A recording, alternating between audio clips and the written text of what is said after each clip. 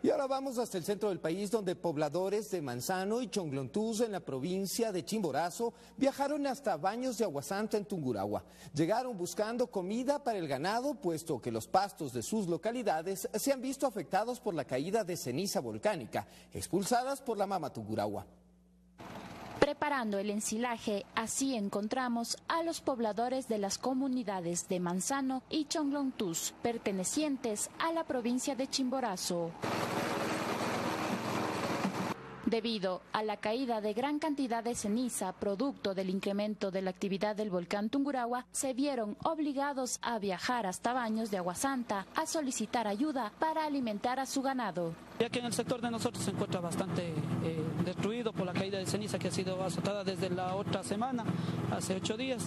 El proceso para elaborar y empacar el alimento consiste en triturar varias cañas de maíz para conseguir el forraje.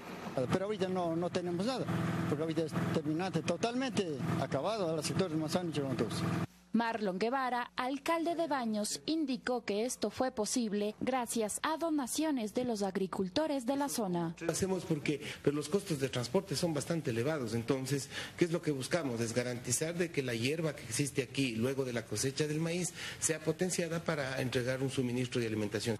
Al momento, el volcán presenta una actividad moderada alta con leves emisiones de ceniza. En Tungurahua, Lorena Aldaz, Gama Noticias.